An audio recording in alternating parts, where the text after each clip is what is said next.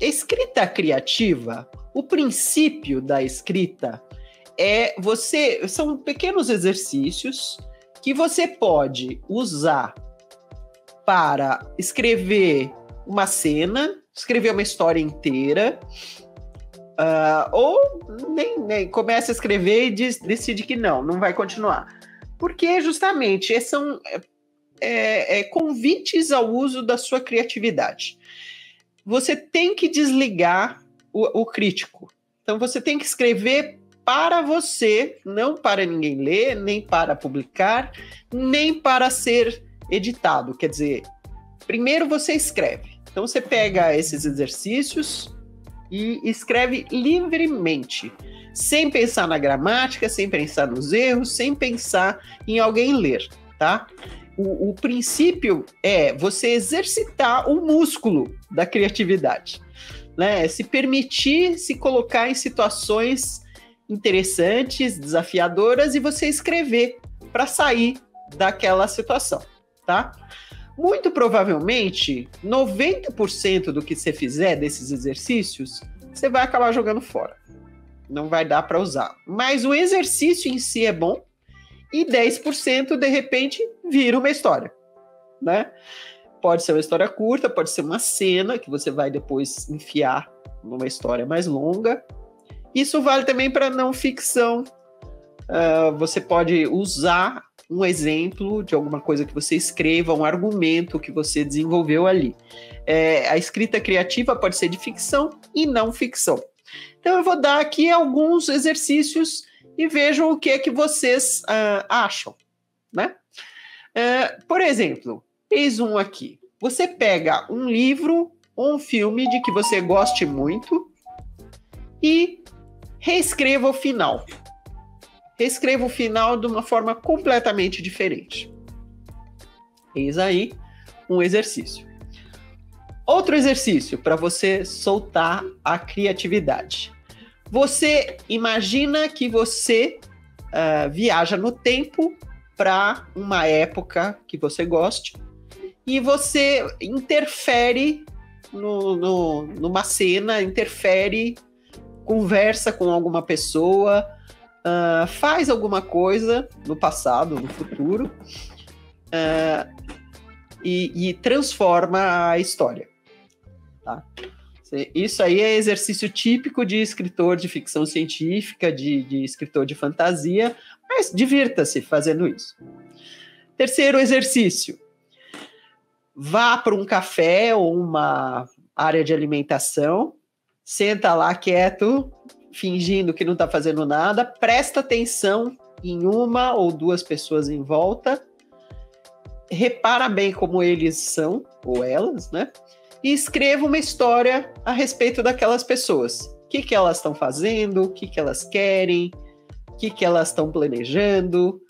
Hum, gente, é criatividade, tá? Então, o que aparecer na sua cabeça, você vai soltando, né? Então, se você inventar que eles são ladrões de banco, crie uma história de ladrões de banco. O pique é ir soltando, tá? Uh, quarto exercício. Imagine que você uh, está falando com um uh, antepassado seu. Alguém de que você ouviu falar que existe na sua família, ou talvez que você tenha conhecido, um avô, um bisavô, uma atriz avó, é, imagine que você senta para conversar com essa pessoa e ela te conta um caso. Então, é, desenvolva aí que caso é, é esse. Tá? É, se você é mulher, é, conte um encontro imaginando que você está na pele de um homem. Se você é um homem, conte o um encontro imaginando que você está na pele de uma mulher.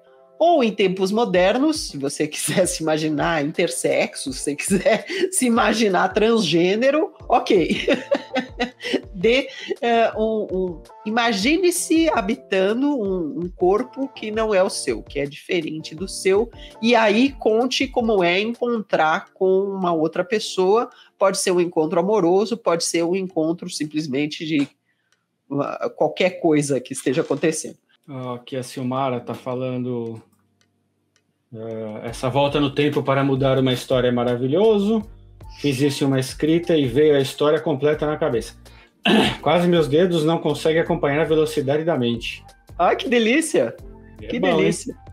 Essa é, é bom, é gostoso isso, né? É, você. É, a ideia é soltar, né? A Natália Croft perguntando: pegar filmes e romantizá-los num livro é considerado exercício de escrita criativa? Sim. Não, você pode partir absolutamente de um livro ou de um filme e aí inventar, mandar ver. Uh, justamente, você pode pegar um exercício que é o que o pessoal faz da fanfiction, né? Você pega um personagem que você adora e coloca ele em outro set, em outra situação. E aí imagina o que é que aquele personagem vai fazer. Então, é, é tipo fanfiction, né? E, e você se diverte em, em desenvolver algo ali com aquele personagem. Sim, um belíssimo exercício, bem gostoso, aliás. Ah, seu Mara aqui falou, eu adorei a ideia de escrever um final diferente para um filme ou livro, porque já tive vontade de ter visto e lido finais diferentes. Nossa, eu várias vezes, eu quase escrevi uma carta uma vez para a autora de um livro que eu não me conformei com o final. quase. Mas é isso mesmo, às vezes a gente não concorda com o autor ou a autora, né? Então você se divertir em escrever um novo final, sim, é um belo exercício. Outro exercício: você pega um livro qualquer da sua estante, abre numa página qualquer e pega uma frase inteira no final de parágrafo. A frase tem que estar completa.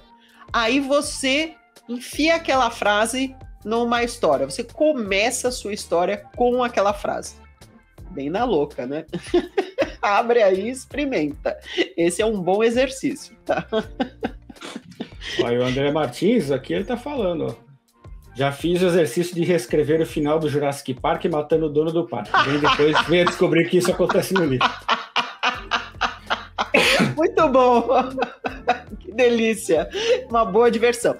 O, o pique, inclusive, gente, de escrita criativa é de você se divertir, tá? Então, uh, não, não é de. É para tirar a crítica, tirar o peso da escrita. É para escrever de farra, né? Vou assim, hoje eu vou uh, brincar. A brincadeira que eu estava sugerindo aqui para o Sidney, né? Se o Sidney fosse o escritor. Pegue a pessoa que você mais detesta nesse momento, né? E imagine que ela ganhou um prêmio literário famosíssimo, ou então que ela ganhou na loteria. Escreva uma história sobre isso.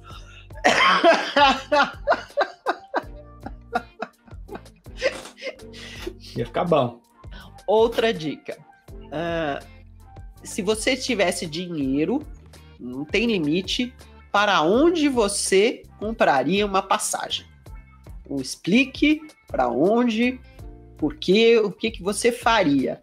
Entre no mundo da fantasia, né? Uh, a viagem é para onde e para quê? Imagine que você está voltando das compras, carregando um monte de coisa, e o saquinho do supermercado rasga. E você deixa cair um monte de coisa na rua, no elevador ou na entrada da sua casa, e uma pessoa para para ajudar. Então, continue a história a partir daí. Quem é essa pessoa que para para ajudar e o que é que ela faz ou deixa de fazer, sobre o que que vocês conversam. Olá, eu sou a Laura Bacelar. Eu presto vários serviços no mercado editorial. Eu ajudo autores a tirarem dúvidas com consultoria, eu faço mentoria para quem quer escrever livros de não ficção e eu faço leitura crítica com viés editorial. Se você tiver interesse, veja os meus dados de contato aqui abaixo desse vídeo.